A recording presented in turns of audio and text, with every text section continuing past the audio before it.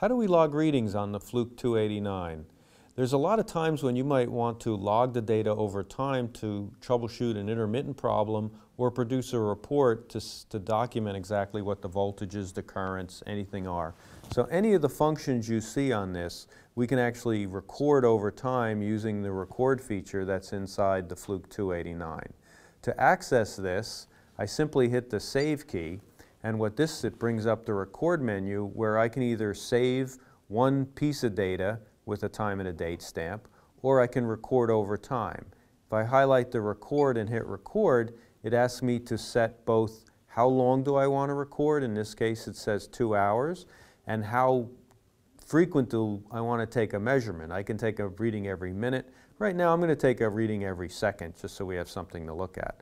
Once that's set up, we hit start, and now it's starting to record. Now there's two pieces of data it's actually recording. It's looking for both the interval samples, where it's taking a reading every second, and then there's also events, where if something happens outside the norm, this will be recorded as an event. So we actually have two different data points going at the same time, one for high-speed events and one for whatever timed cycling we said. Once we hit stop, we have the option to save this as a data record, but we can actually trend it right here on the meter itself so we can see if there was any sort of events or dropouts without having to download this to a PC.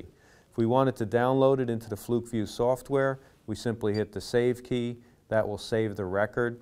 They're built-in names, so if you wanted to uh, put a name on that data, these are eight predefined names that you can use to name that data so you can differentiate it later.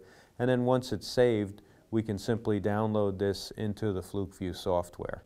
So that's the uh, simple and easy way for you to be able to log readings with your Fluke 289.